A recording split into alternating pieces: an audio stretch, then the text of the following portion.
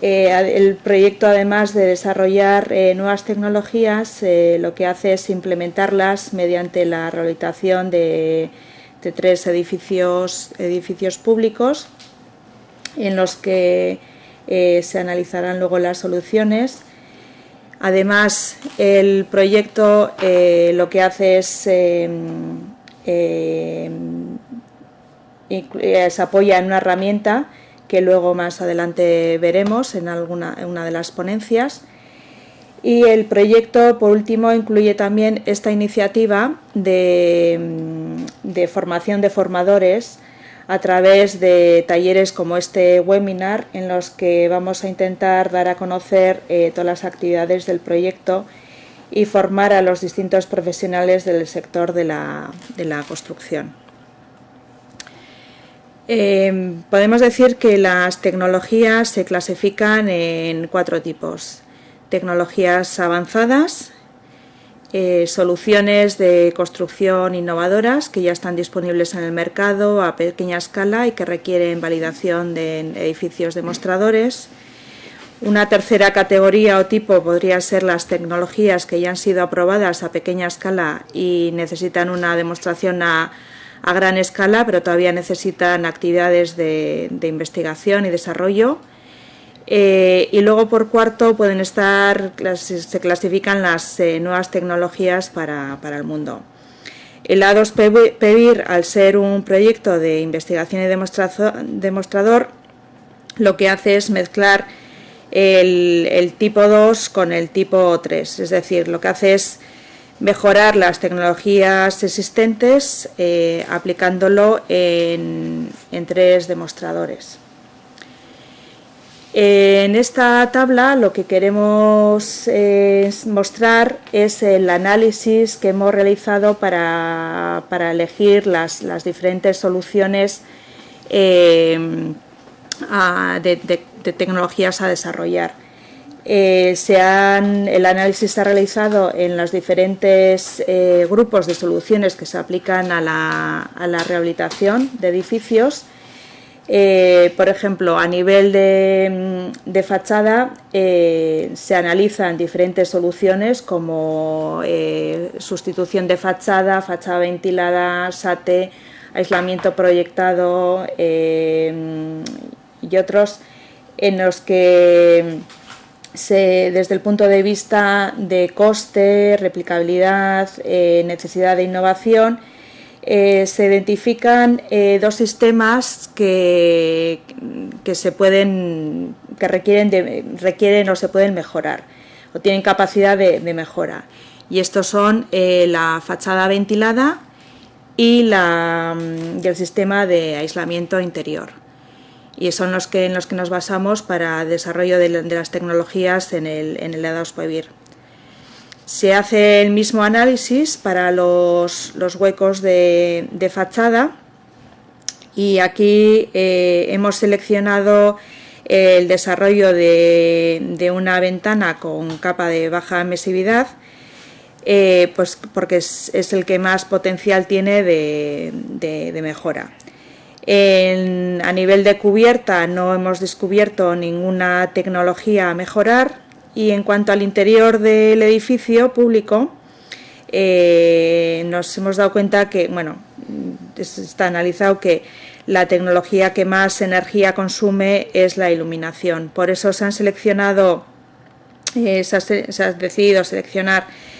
eh, una solución que combina tanto la iluminación natural como la iluminación artificial eficiente.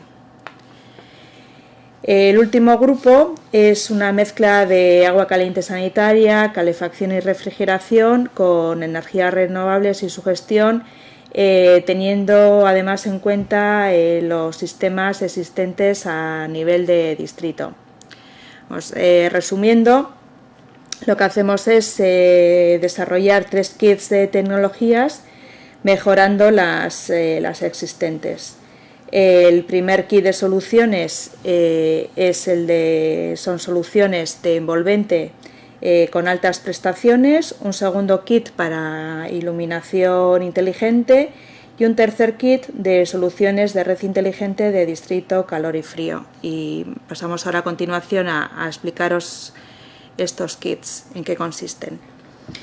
El primer kit de soluciones de altas prestaciones para envolvente eh, desarrolla soluciones de rehabilitación e industrializadas. Eh, por una parte desarrolla eh, dos, sistemas, uno para externo y otro para interior. Y para las ventanas lo que hace es desarrollar una nueva solución con un nuevo sistema de, ajuste. como podéis ver ahí en la imagen, en la solución del envolvente, tanto para la interior como para la exterior, eh, lo que plantea es la utilización de paneles de aislamiento eh, al vacío, los que, lo que denominamos VIPs. Para mejorar el sistema de, fachada ventilada, eh, lo que hacemos es sustituir el aislamiento, como puede ser la lana de roca u otros que se utilizan actualmente, por los, por los paneles VIPs. Eh, estos paneles VIPs eh, tienen unas prestaciones eh, con aislamiento entre 5 y 8 veces superiores a mm, los aislantes convencionales y esto permite conseguir las mismas prestaciones con espesores mucho más reducidos. Como ponemos ahí en la diapositiva, un centímetro de VIP puede equivaler como a 7 centímetros de, lana de lana de roca. Eh, conseguimos, por tanto, reducir eh, el espesor de la fachada, reduciendo también la conductividad del sistema de fachada ventilada. Uno de los problemas que presentan los VIPs es eh, que en, su, manipulación puede perder, se pueden perforar y por tanto pierden su capacidad superaislante. Por lo que en este desarrollo, en el marco del proyecto A2PEVIR, eh, se ha tenido que desarrollar eh, y mejorar todos los componentes que, se incluyen en la, fachada ventilada. Por una parte, los propios VIPs, los propios paneles que, se han tenido que rigidizar para poder manipularlos y que no pierdan, que no se perforen en su manipulación eh, a través de eh, hemos adherido una, una lámina asfáltica para darle mayor rigidez también y por otro el sistema de sujeción de estos paneles que no se pueden perforar eh, se hace a través de unos clips de PVC, son extruidos en 3D, sobre los cuales se apoyan los, los paneles, los paneles VIPs. Ahí veis eh, un enlace a un, a un vídeo en el que se explica más extensamente este, este sistema. En el trasdosado interior ocurre algo similar. Eh, estas soluciones, pues eh, para el, el, trasdosado interior en muchos edificios que tienen fachadas protegidas o en zonas donde no se puede incrementar el espesor por el exterior, pues aplicaría este, este sistema. Y bueno, como decía, pues ocurre algo similar con el trasdosado interior, con los, con los VIPs, que mm, hay que tener en cuenta que la pérdida de las cualidades de, los paneles debido a las perforaciones y por eso en este caso hay que proteger el panel de elementos eh, ya existentes en, en el propio tabique de cierre eh, o en la envolvente de cierre, eh, como pueden ser eh, enchufes, otras instalaciones ya existentes. uno de los problemas que nos encontramos con este sistema de trasdosado interior con VIPs es la propia impermeabilidad del, del, que nos puede crear condensaciones intersticiales. Por eso eh, lo que tenemos que tomar son medidas necesarias como colocación de barreras de vapor para evitar estas eh, condensaciones. En este caso también, lo mismo que en el caso de la fachada ventilada, eh, los recrecimientos serían de, unos 10 centímetros. además de la, de la fachada opaca, hemos desarrollado una ventana reversible que se adapta a las necesidades de minimizar el calor en verano y maximizar las ganancias solares en, invierno. Esta ventana permite la rotación de la capa baja emisiva de forma que consiga mejor comportamiento en invierno y en verano eh, sin penalizar la transmisión de, luz eh, visible. Os vamos a mostrar a continuación un vídeo de cómo, de cómo se articula toda esta ventana.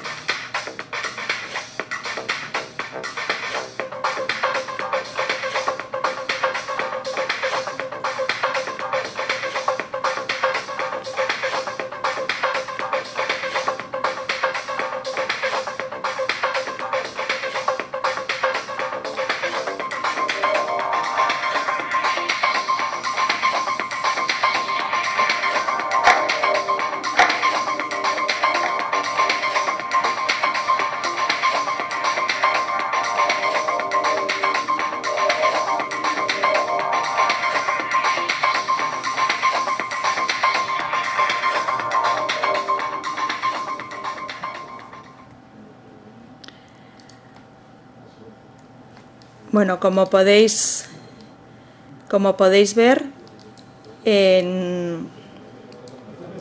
esta se trata de una ventana con rotación vertical, no como la que aparece en la imagen de la, derecha.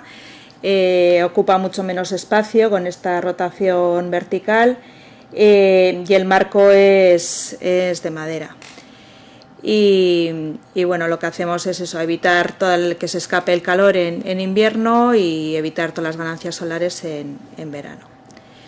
este kit, el segundo kit, eh, desarrolla un sistema inteligente de iluminación que eh, lo que hace es combinar la iluminación natural con la artificial eh, llegando pues a, iluminar con a dar iluminación natural a mm, zonas que, están más en el interior del edificio que no cuentan con la iluminación natural a través de, aperturas en la fachada y bueno, este es un sistema, eh, lo que hace es combinar la iluminación natural con la artificial usando los, los LED y este sistema lo explicará más adelante la RAIDS. El tercer kit desarrolla una combinación de generación y distribución de agua caliente sanitaria para el enfriamiento y calefacción a través de sistemas de energía solar. integra eh, sistemas de absorción para generar frío, que lo ha desarrollado eh, a través de una patente que ha desarrollado Climatewell y este también eh, explicará más adelante eh, mi compañero Víctor. Bueno, por último, para ir acabando, eh, como veis, todos estos desarrollos están basados en un análisis previo que se ha realizado para, su mejora. como hemos dicho anteriormente y explicaremos luego más adelante, se van a implementar en tres demostradores eh, en los que, por supuesto, pues ha habido, ha habido una monitorización previa para poder saber cuál es el punto de partida.